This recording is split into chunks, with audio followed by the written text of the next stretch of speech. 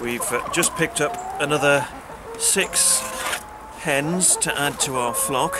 Now it's been nearly a year since we've bought any hens and in that time we've had a number of deaths and uh, we lost one hen to foxes.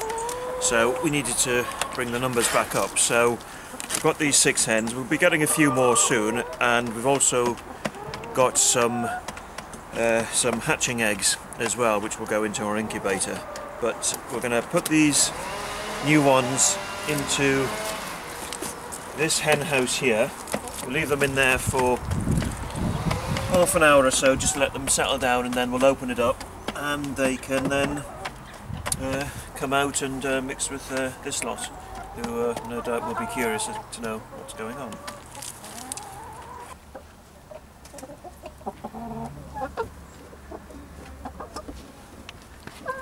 Well they've been in here for a few minutes now so uh, we're going to let them out.